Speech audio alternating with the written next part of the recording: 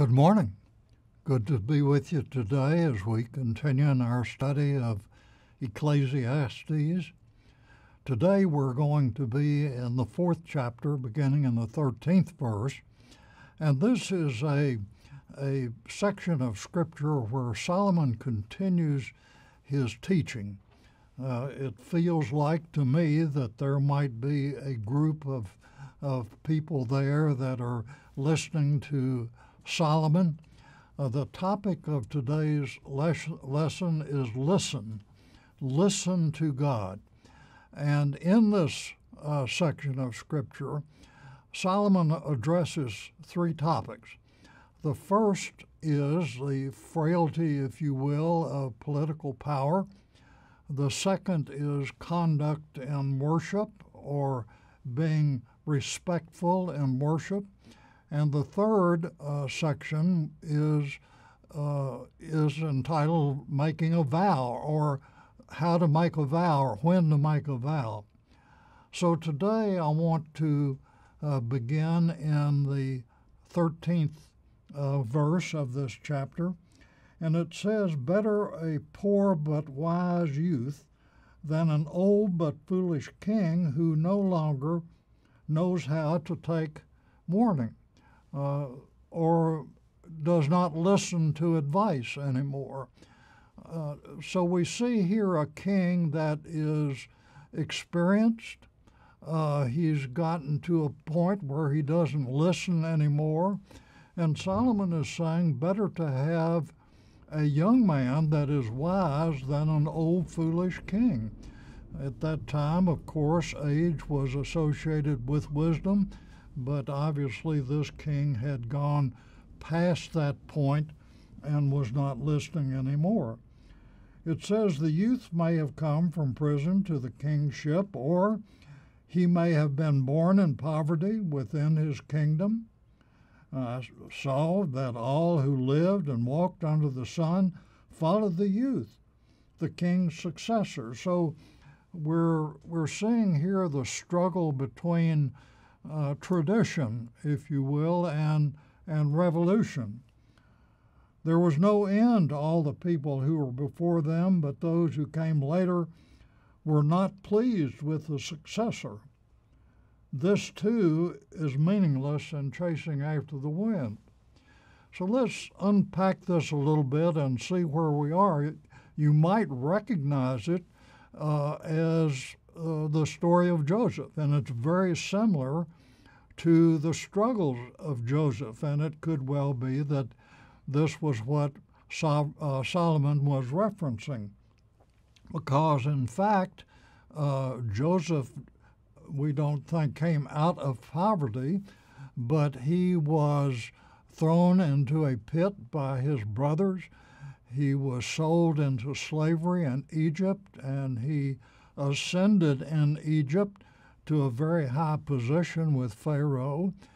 Uh, Pharaoh's wife accused him of uh, trying to sleep with her, and and so uh, Joseph was thrown in jail again, only to come back and rise to the uh, to be second in command in Egypt. So we see here a young man who, despite setbacks, despite uh, troubles, uh, despite imprisonment, rose to this great height of being second in command in Egypt. Well, then, of course, uh, it says in verse 15, I saw that all who lived and walked under the sun followed the youth, the king's successor. And this could well mean the people that preceded, the kings that preceded Pharaoh. There were many that came before him, and of course, uh, many after. But after Pharaoh died, uh, his successor uh, wasn't familiar with Joseph, and as you recall the story, he began to uh, take advantage of and to uh, oppress uh, Joseph's people. And so they were not happy. Uh, they were not pleased, as the word says, with the successor. Uh, very well could be uh, the the successor to Pharaoh. As I said, the the story here in Ecclesiastes has has a great similarity to the story of Joseph. And then it says in the final sentence, this too is meaningless, chasing after the wind. So, what is the application of that, I wonder, to uh, you and I living in the in the presence of Jesus under His uh, authority? Well, I, I believe it says that that ascension to to a high position without God is meaningless. Trying to accomplish things in life without God's guidance is meaningless. So here, as we have seen in these first verses between 13 and 16, is the frailty of political power.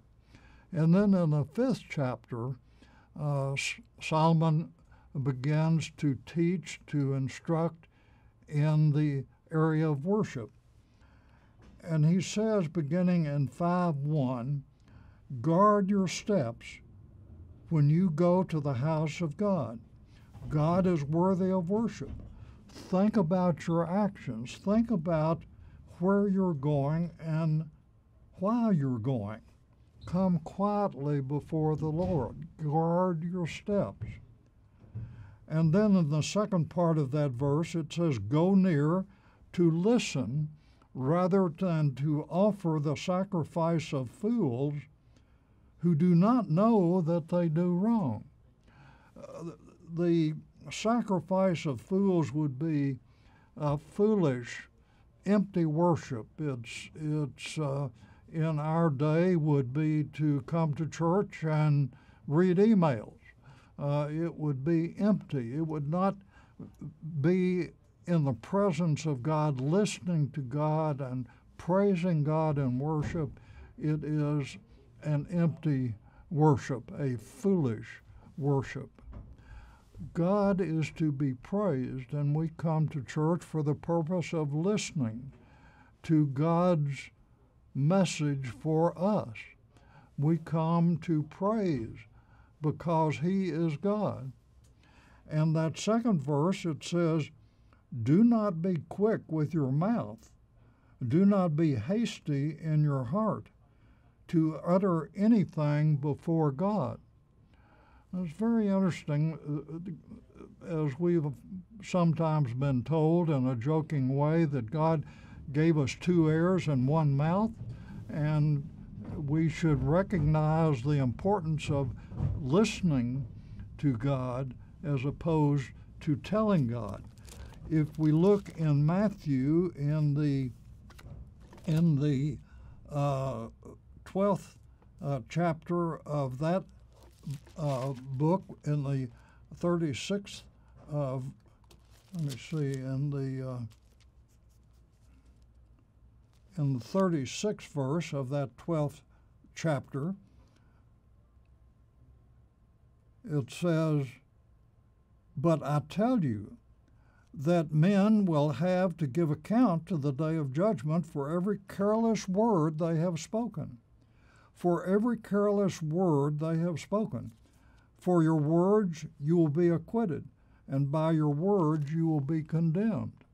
Also in Proverbs, in the uh, 10th chapter, in the 19th verse, uh, the writer of Proverbs says, When words are many, sin is not absent, but he who holds his tongue is wise. So, in this section of Scripture, in this fifth chapter, uh, Solomon is cautioning us about our style of worship, about how we worship. Do not be quick with your mouth, he says. He's talking about the relationship between God and people.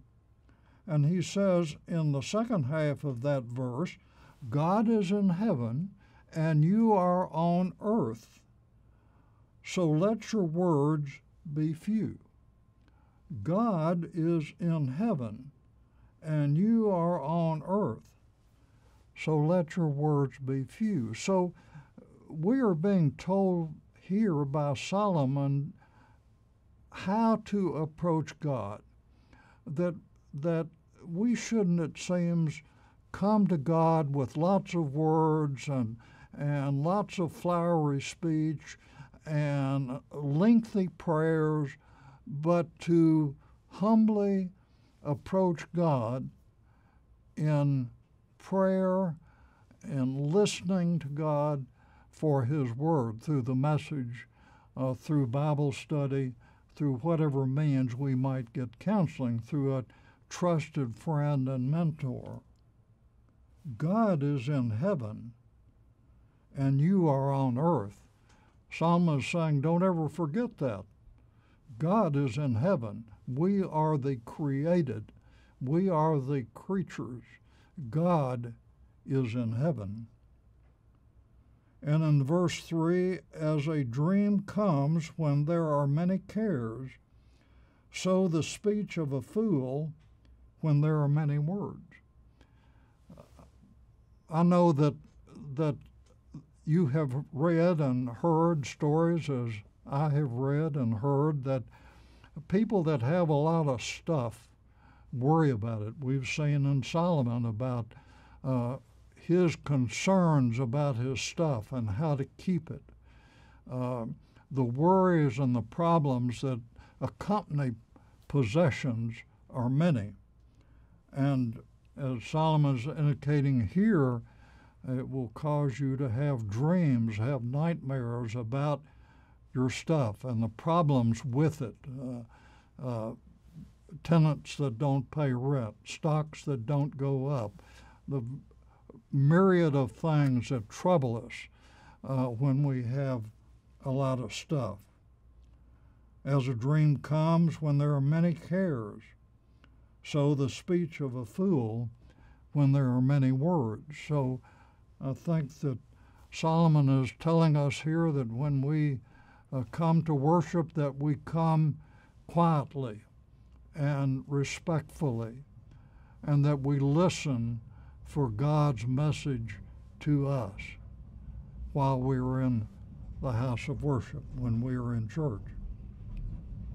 And then in verse 4 of this fifth chapter, Solomon changes topics again. We talked about uh, about the political frailty, uh, the frailty of political power. We've talked about now about our attitude or our mindset when we come to church.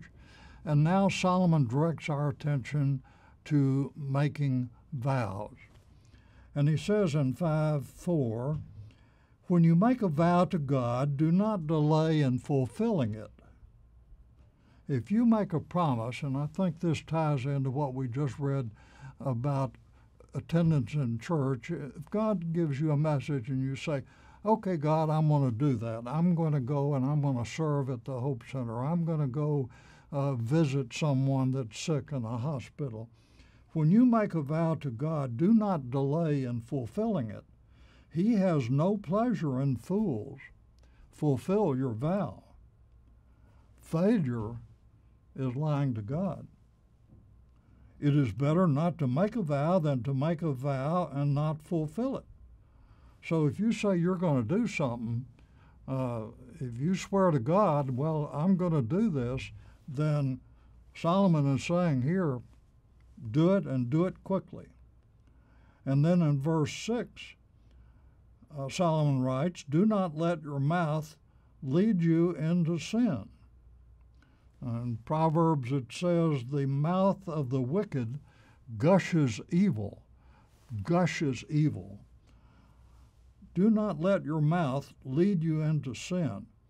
Do not protest to the temple messenger. That could be one of the rabbis there, it could be an angel of God. It's not told to us uh, who this messenger is, but don't go up to him and say, you know, I made a mistake when I said I would do this. I, you know, I wasn't really sincere, and it was a mistake. And, you know, I, God, I'd like to I'd like to bow out of that. Why should God be angry at what you say and destroy the work of your hands? Much dreaming and many words are meaningless. Much dreaming and many words are meaningless. Therefore, stand in awe of God. Stand in awe of God. He is in heaven. We are on earth. We are the created. He is the creator. Therefore, stand in awe of God. And friends, as we go about our daily walk, as we uh, meet friends, as we visit the sick, as we do the things uh, that are a part of our ministry, I pray, Father, that, that we would stand in awe of God when we are in church. I pray, Father, that by our countenance, by our actions, that we might be a witness to those that are watching, that they would recognize that we are standing in awe of God. Let's pray together. Father, thank you for this lesson today, and thank you for the words written in Ecclesiastes. Uh, thank you for the wisdom of Solomon and your writings through him. Uh, Father, thank you for your Son Jesus. And thank you for the church that that and this country that allows us to worship in freedom. And Father, I just pray that when we go about our daily walk, that we would stand in awe of you, for you, Father, are in heaven. And what a privilege, privilege it is just to speak with you, just to be able to, without fear, approach your throne. Uh, Father, we pray for those that are ill, that are uh, involved in financial or family problems. We pray your loving arms to surround them, your comfort to be with them. We pray, Father, for those that are in the hospital that you might be with the doctors and nurses that attend to them, that you might grant them an extra degree of wisdom. Uh, Father, we thank you for your word and pray that we would listen to your message through it. And Father, we give you the praise and the glory and the honor. And we pray all these things in the mighty name of Jesus. And all God's children said, Amen. God bless you.